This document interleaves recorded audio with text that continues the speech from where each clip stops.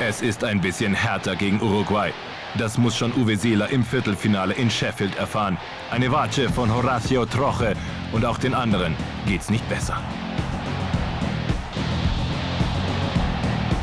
Zwei Platzverweise für die Urus und ein Spaziergang ins Halbfinale für die Deutschen. Beckenbauer 2 zu 0. Seeler 3 zu 0. Haller 4 zu 0.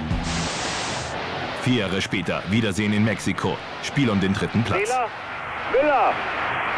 Oberrat. 1 zu 0. Dabei bleibt's.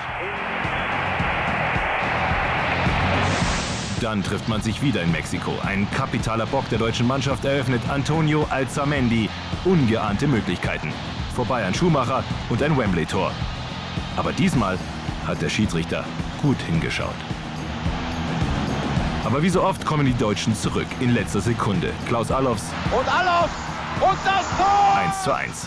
Endlich haben sie es geschafft.